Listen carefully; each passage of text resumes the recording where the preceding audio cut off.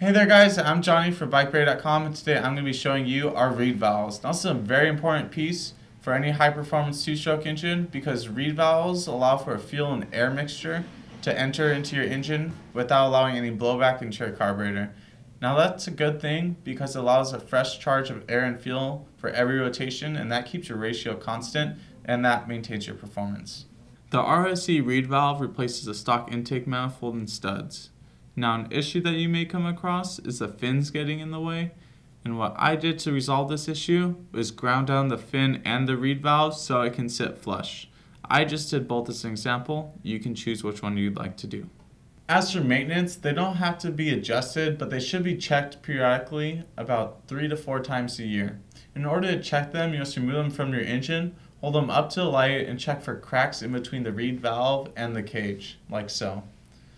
Now if you see any feathering on the ed edges, that also means that they need to be replaced, and they last anywhere from about 3 to 5 years depending on use.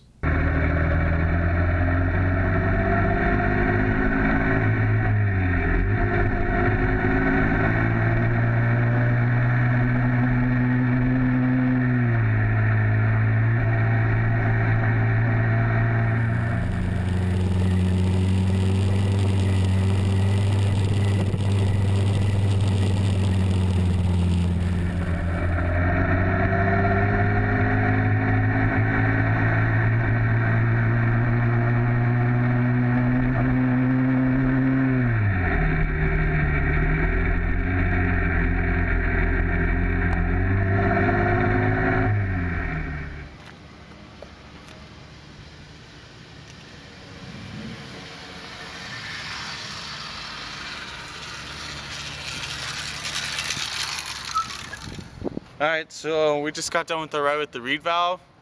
It's actually one of my more enjoyable parts that we put on it. It's uh, It eliminated a lot of the vibration and bogging at the lower end. Um, it just felt a lot crisper and it, and it definitely had a lot more pop and get up and go once we were going. And I liked it, I thought it was a good product. And that's a wrap on the reed valve. If you like us, go ahead and subscribe to us on our YouTube channel and comment down below. We greatly appreciate it. Check it out on Facebook, and we also have more performance parts on BikeBerry.com.